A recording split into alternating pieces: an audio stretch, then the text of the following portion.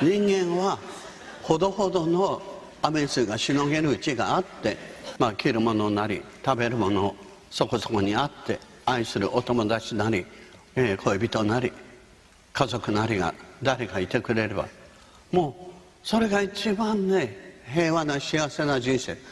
腹六分腹八分っていうのがこの人生の一番のコツだと思ってますけどもいかがでしょうか？面白いでしょ？ね、だからね、えーこんなことねもうもうめったにないですよ。私はもうね93だから間もなく死にますからね。